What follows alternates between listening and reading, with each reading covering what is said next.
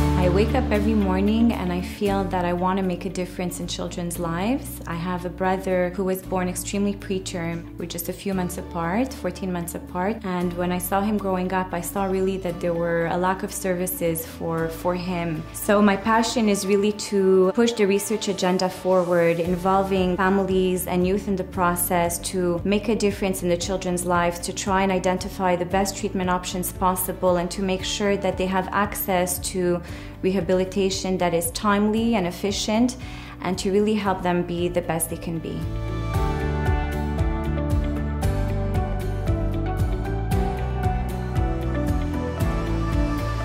So we have a few projects right now. One of them is looking at transitions from the pediatric healthcare centers to the adult centers. So we want to make sure that the services that are offered to the children with a physical disability continue when they hit 18 or 21 and so that this continuum is as smooth as possible. Another one is to develop best practice guidelines or recommendations for occupational therapy and physical therapy for children with arthrogryposis, which is a musculoskeletal condition that we see uh, quite often at the Shriners. My third is implementing a multidisciplinary clinic for children with arthrogryposis, so involving a physical therapist, an occupational therapist, a geneticist, an orthopedic surgeon to try to make this clinic as family centered as possible and based on outcome measures as well.